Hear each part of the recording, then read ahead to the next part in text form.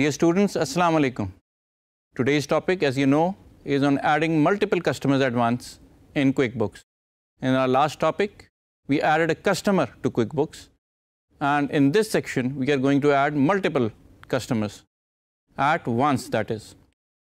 आप जानते हैं कि हमारे पास जब भी हम अकाउंट शुरू करेंगे तो हमारे पास कस्टमर्स भी आएँगे वेंडर्स भी आएँगे और उनको हमें रजिस्टर करना होगा लास्ट टाइम हमने देखा था कि किस तरीके से हम एक कस्टमर को अपने पास रजिस्टर करेंगे। अगर आपका काम नया नया शुरू हुआ है तो आपके पास गाहे बगाहे कस्टमर आते रहेंगे और आप उनको इसी तरह से एक एक करके एंटर करते रहेंगे।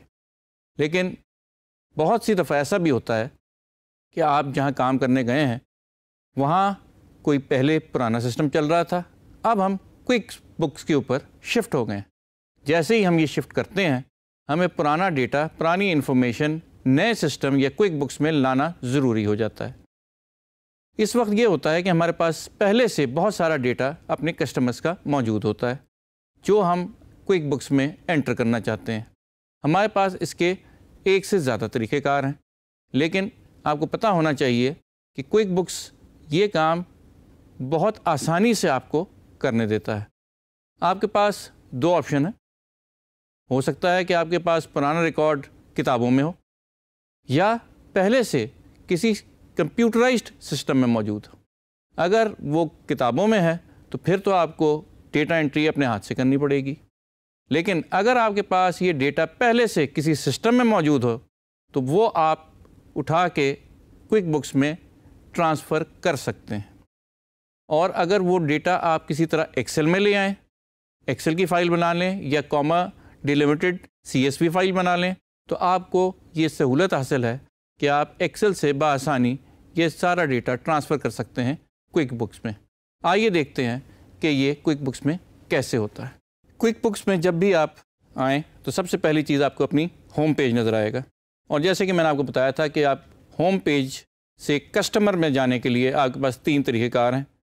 या आप होम पेज पे कस्टमर पे दबा दें, या आप ऊपर अपने मेन्यू पे कस्टमर पे दबा दें या सीधा जाके कस्टमर से कस्टमर सेंटर में चले जाएँ। जैसे ही आप कस्टमर सेंटर में जाएँगे तो आप देख सकते हैं कि हमने लास्ट टाइम जो अपना कस्टमर बनाया था, वो यहाँ मौजूद है। और अगर आपको याद हो कि हम किस तरीके से यहाँ नया कस्टमर ऐड करते हैं, हम न्यू कस्टमर में जाते हैं और एक एक करके तमाम टैबों में वो तमाम इन्फॉर्मेशन जो रिक्वायर्ड है, वो भरते चले जाते हैं।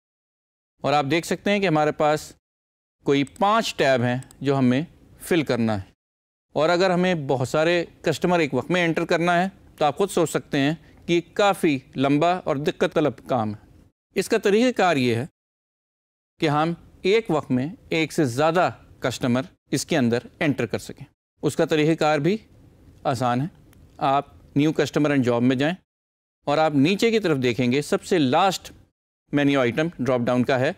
ऐड मल्टीपल कस्टमर्स अब आपके सामने जो स्क्रीन आई, उससे आपको खुद ही अंदाज़ा हो गया होगा कि ये किस किस्म की स्क्रीन है.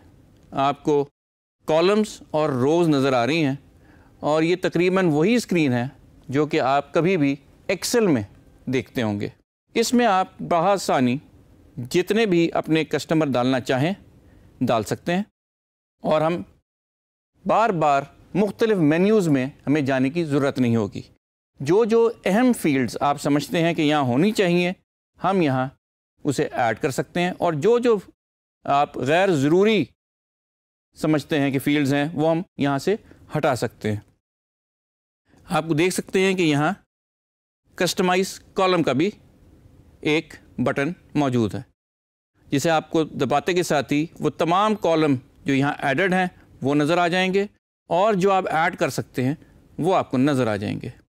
इसमें से मैं एक आधा कॉलम आपको रिमूव करके दिखाता हूँ। इसी तरह अगर हम कोई कॉलम ऐड करना चाहें तो हम कस्टमाइज कॉलम में जाके वो कॉलम ऐड कर सकते हैं। अब जब हमारे सामने ये स्क्रीन खुल गई तो आप देख सकते हैं कि हम यहाँ कोई और कस्टमर ऐड कर रहे हैं। और हम इसकी जितनी इन्फॉर्मेशन चाहें, यहाँ मुख्तलिफ़ कॉलम्स में ऐड कर सकते हैं। ये सबसे आसान तरीका है आपके लिए कि आप अपनी इन्फॉर्मेशन मल्टीपल कस्टमर्स की एक वक्त में इस डेटा एंट्री के थ्रू ऐड कर लें।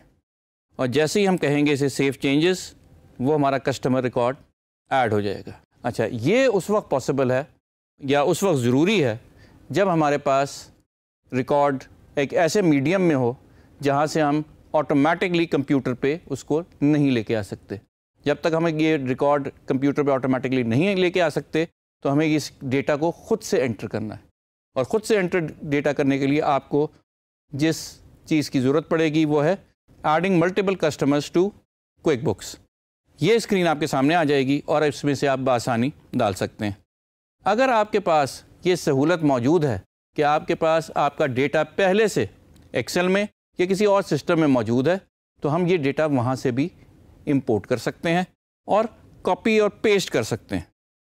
ज़रा देखें कि हमारे पास एक एक्सेल की फ़ाइल मौजूद है, जिसमें पहले से कोई पाँच कस्टमर्स मौजूद हैं। Company owner address phone number और कॉन्ट्रैक्टर टाइप आइए देखते हैं हम ये कॉलम्स अपने क्विक बुक्स में कैसे डालेंगे।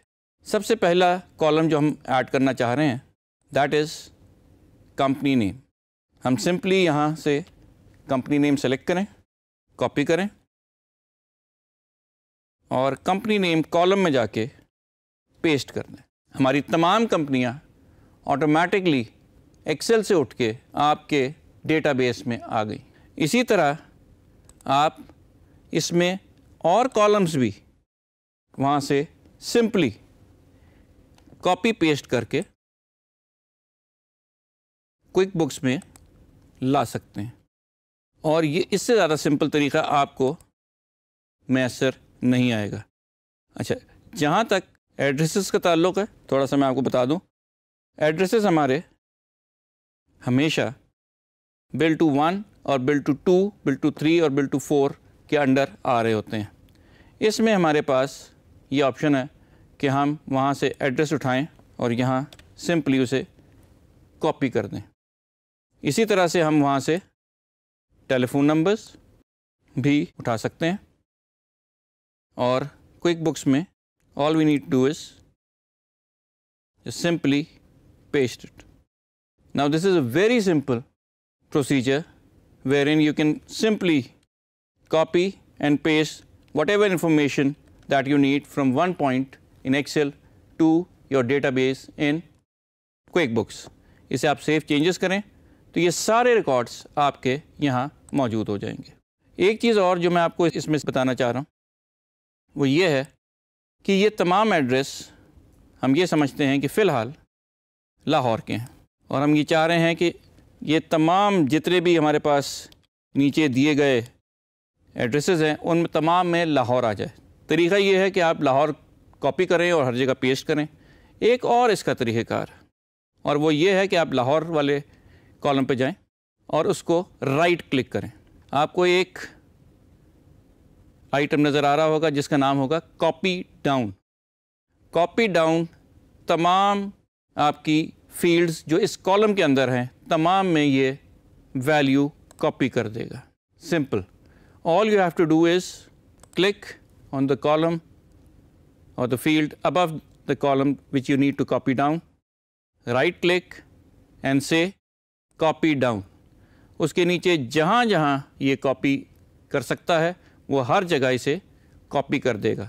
जो चीज़ हमने कॉपी करनी है, हम बसानी उसे कॉपी डाउन के थ्रू कॉपी कर देंगे। याद रहे जहाँ रिकॉर्ड नहीं है, कॉपी उससे आगे नहीं जाएगा। ये खुद ब खुद ही ये चीज़ समझता है कि रिकॉर्ड कहाँ कहाँ मौजूद हैं और किस किस जगह इसे फिल करना है।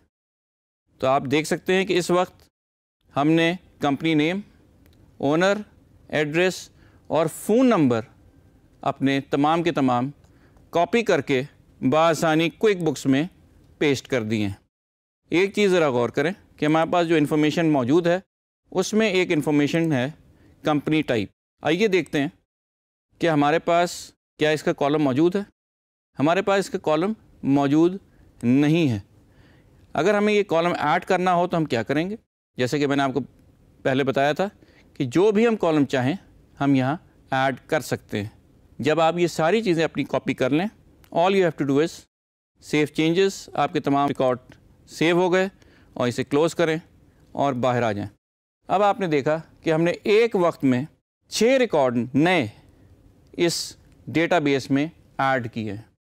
और मैंने आपको ये भी सिखाया कि किस तरीके से हम लोग ये रिकॉर्ड मैन्युअली एंटर भी कर सकते हैं और इसको कॉपी पेस्ट कर सकते हैं from Excel to your QuickBooks QuickBooks की शक्ल बिल्कुल उस वर्कशीट की तरह है जो कि एक्सेल है। All you need to do is select your column copy and simply come over to your QuickBooks and paste it ठीक है जी? ये सबसे आसान तरीका है जिससे हम भारी multiple data multiple records transfer कर सकते हैं from one database to another that's all for today thank you